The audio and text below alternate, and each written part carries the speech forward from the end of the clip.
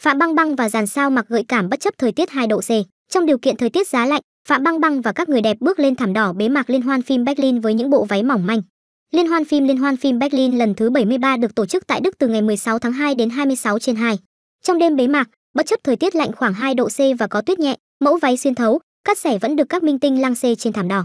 Phạm Băng Băng diện váy sequin xuyên thấu đến từ nhà Mosgora Guta. Mẫu váy xẻ ngực sâu, ôm dáng giúp nữ diễn viên nổi bật ở sự kiện.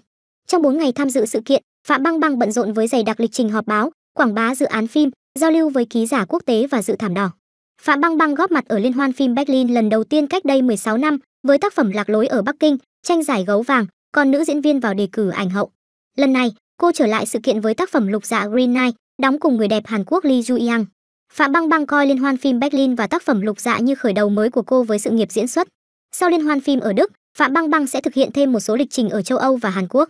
Thảm đỏ lễ bế mạc còn có Kristen Stewart với phong cách gợi cảm nhưng vẫn cá tính. Cô mặc trang phục xuyên thấu, trang điểm mắt khói và làm kiểu tóc rối cho Nữ diễn viên là chủ tịch hội đồng giám khảo của liên hoan phim Berlin lần thứ 73. Kristen Stewart mặc áo khoác ủ ấm cơ thể ngay sau khi hoàn thành phần đi thảm đỏ và ký tặng người hâm mộ. Từ hình ảnh hiện trường, có thể thấy phóng viên, nhân viên sự kiện và khán giả xung quanh đều mặc áo dày cùng khăn quàng cổ, mũ len. Diễn viên Lea Van Aken trái lựa chọn váy cắt out táo bạo, trong khi người mẫu Angelina Fresh trông nhẹ nhàng, quyến rũ với đầm cúc ngực đính cường.